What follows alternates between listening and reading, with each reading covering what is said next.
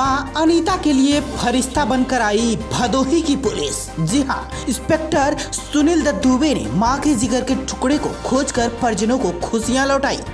बालक संगम पाल पुत्र सुरेंद्र निवासी, कौवापुर थाना सुरियावा जनपद भदोही, चार तारीख को दो बजे अपने घर से बाज़ार गया था, लेकिन वापस न लौटने पर बच्चे के चचेरे भाई राजन ने थाना सुरियावा पर आकर मामला दर्ज कराया।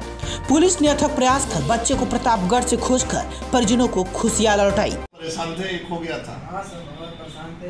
दो ही बजे से गायब हुआ था और सब घर वाले ढूंढ रहे थे। अब इसको पाकर जो है तुम्हें कैसा लग रहा है? बहुत अच्छा पुलिस के लिए क्या कहना चाह रहे हो? बहुत अच्छा कहना चाहते हैं धन्यवाद। भदोही से 24 आवर स्टूडियो न्यूज़ के लिए नितेश श्रीवास्तव की रिपोर्ट।